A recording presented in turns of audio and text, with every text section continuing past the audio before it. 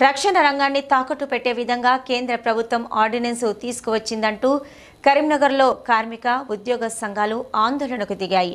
నగరంలోని కలెక్టరేట్ ఎదురుగా కార్మిక ఉద్యోగ సంఘాల ఆధ్వర్యంలో ధర్నా చేపట్టారు.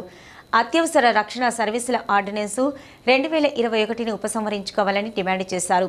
ఈ మేరకు రక్షణ రంగాన్ని కాపాడుకుంటామంటూ నినాదాలు చేశారు. సేవ్ డిఫెన్స్ సేవ్ ఇండియా అంటూ ప్లకార్డులు ప్రదర్శించారు. కేంద్ర ప్రభుత్వం రక్షణ రంగానికే రక్షణ లేని పరిస్థితి తీసుకొచ్చిందని జిల్లా సీఐటియు రమేష్ అన్నారు.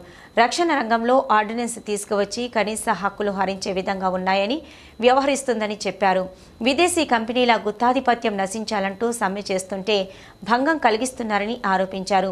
విదేశీ సంస్థలకు రక్షణ రంగాన్ని తాకట్టు పెట్టే విధంగా వ్యవహరిస్తున్నాయని చెప్పారు.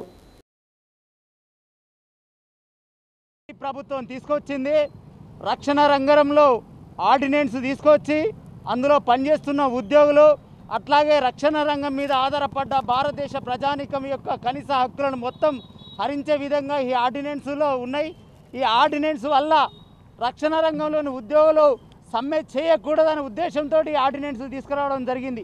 ఈ నెల ఇరవై ఆరో తేదీన దేశవ్యాప్తంగా రక్షణ రంగంలోనే ఉన్న ఆస్తులను కాపాడుకునేదానికి రక్షణ రంగంలో స్వదేశీ విదేశీ కార్పొరేట్ సంస్థల గుత్తాధిపత్యం నశించాలని సమ్మె చేస్తూ ఉంటే ఈ సమ్మెను హరించడానికి సమ్మె చేయకుండానే ఈ ఆర్డినెన్స్ తీసుకోవడం రావడం జరిగింది.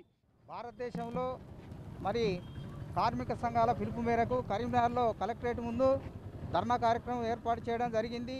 మరి అందులో మరి ఏఐటీసీ సిఐటి ఐఎఫ్టి కూడా ఇందులో పాల్గొనడం జరిగింది.